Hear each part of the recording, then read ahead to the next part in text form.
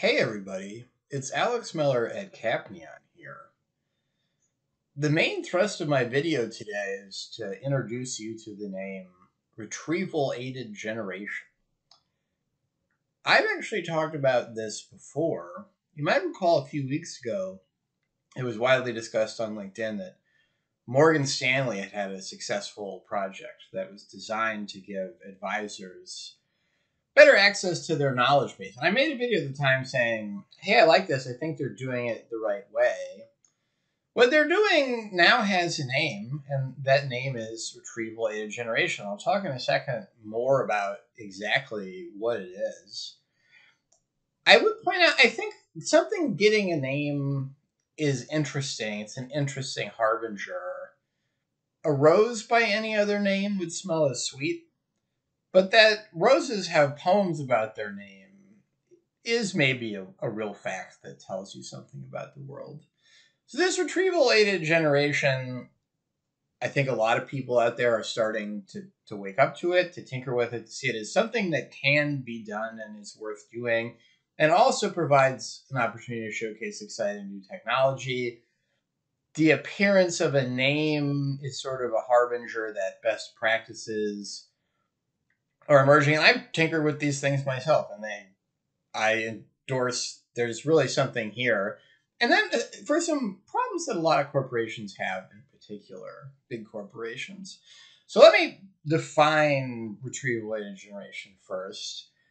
There's a lot of conversation out there that we like to use a large language model like an expert. And this is, you know, it, it works well enough. There's a little bit of you know you can tantalize like maybe it could work. But it doesn't work well enough because of this hallucination problem. So sometimes llm will just make stuff up at inappropriate times. So there's a risk management problem attached to doing this. Retrieval aided generation is i think easiest to describe by setting it up in contrast to this. So rather than have the LLM directly know things, we're going to combine the LLM with another tool that's going to dig up documents from a source we have. And then the user is going to query, and then the LLM is going to handle that query and do a search. And then it's essentially going to read these documents and describe what it finds in them for the users. So the LLM is no longer the expert, which I think was a perilous place to be putting it. It's sort of the reference librarian that's and it's doing an extra step of actually telling you what's in the thing. So let me spotlight uh, like a variety of reasons this is good, corporate and just kind of AI centric problems that it gives you a handle on. You know, honestly, I think it feels like every corporation in the world, you know, you want to not just be about tribal knowledge that you don't know like who knows where the bodies are buried and it's like somebody leaves you freak out. So you're always trying to write things down. You end up with a lot of stuff written down and you end up with this kind of rambling monster of a sharepoint site and you can have this sort of uh, success failure where well everything's documented but there's just too much and nobody reads it and we forgot about it. And i've seen in my life lots of you know, it's a new season. Let's try to clean up that knowledge base and make it useful to people.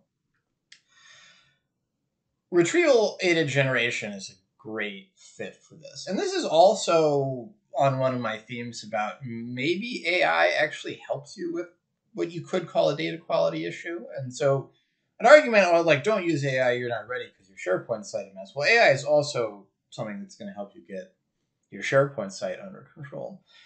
So there's this problem. We have all this knowledge about what we're doing documented, but then it's really too much and no one knows where to find anything. And this retrieval aided generation, which is maybe a, a combination of AI technologies put to a particular purpose, is a great way to solve this. And if you did a really good job, it's not hard to imagine why it would be really powerful and that maybe you have a new employee who has lots of questions about how things get done around here, what are our practices saying, "Oh, just go to the SharePoint site with these ten thousand word files. You don't know what's what." That's that's not going to work.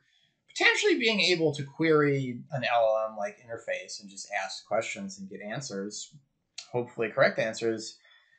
That's potentially really really, really powerful. Uh, and you can, let's make up big numbers.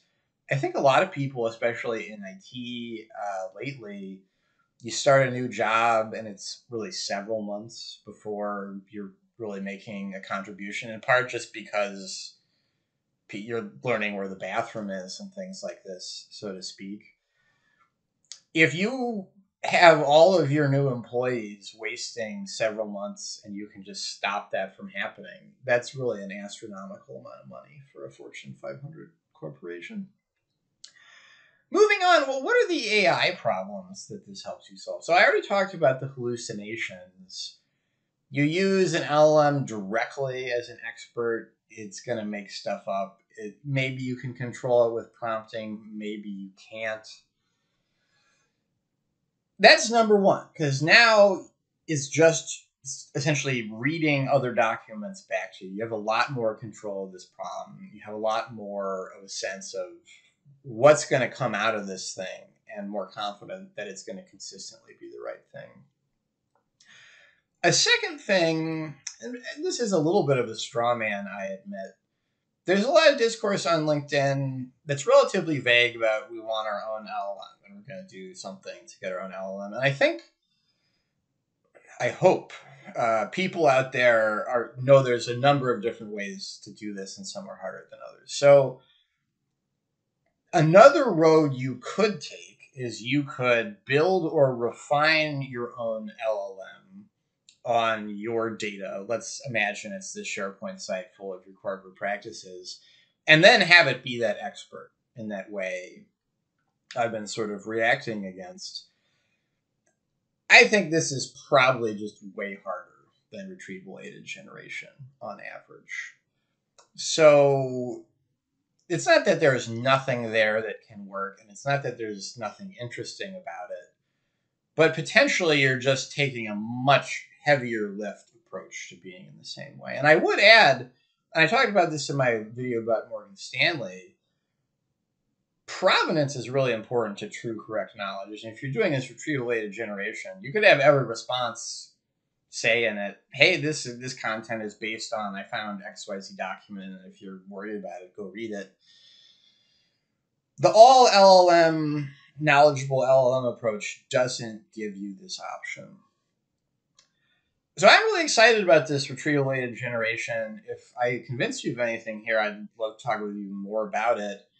To just hit on some other things I've been talking about, other things and hit this week some of you out there are you're talking you're doing an AI program. Everybody talks about their AI program. I really I'm begging you to make this specific. And I think also realistically, some people are under the gun out there to do something cool and useful with AI, probably not getting as much guardrail and specificity about what it should be. And this is something achievable that I think solves a problem that every sufficiently large corporation in the universe has. There's a couple other technologies that come up a lot in this conversation, notably vector embeddings and vector databases. I'm going to make a video about those and kind of where they fit into this picture. And then also, I think we're probably at a crossroads in the management of the average mega corporation in that this kind of oh our sharepoint site is too big and nobody can find anything problem is to some degree an indication of, well, let's be real. At a large organization, the overhead of the right hand trying to keep track of what the left hand is doing grows and grows. And people talk about agility, but this is really one reason why small companies exist and large companies don't devour everything is that not everything about being a large company is good, and one disadvantage is just keeping track of all the information that has to fit together from across the corporation. AI can help with this a lot.